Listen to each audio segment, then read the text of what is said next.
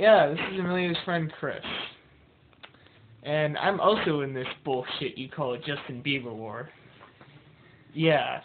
Okay, you have hacker friends. Ooh, I'm so fucking scared. I've rebooted my computer so many fucking times, I don't give a shit if you hack my computer. So go for it. I don't care. Ooh, I'm so scared.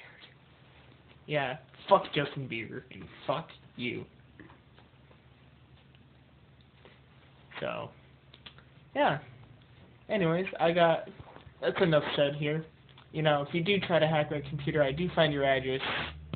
I know a couple people that live around the States. So,